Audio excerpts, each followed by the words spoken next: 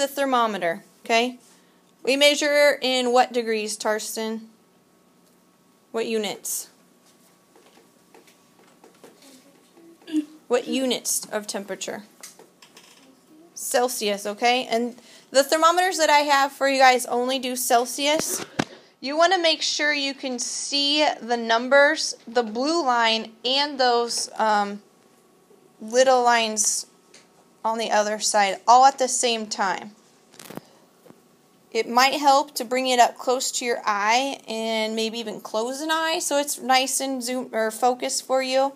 Um, you want to make sure you never touch um, the bottom of the thermometer here. Why wouldn't we want to touch that? Um, no. Chase? It might read your body. Yeah, it's going to read your body temperature instead of the room temperature. You're going to be graded on measuring the room temperature. So if anybody touches this, then it's going to mess it up for everybody else. So you're not allowed to touch the bottom. Carter? What's in there? I don't know, something that's not mercury. Something non toxic.